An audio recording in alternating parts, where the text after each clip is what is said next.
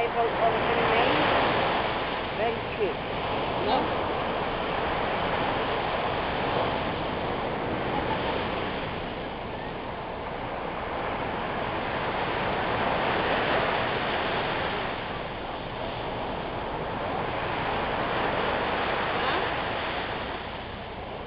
Huh?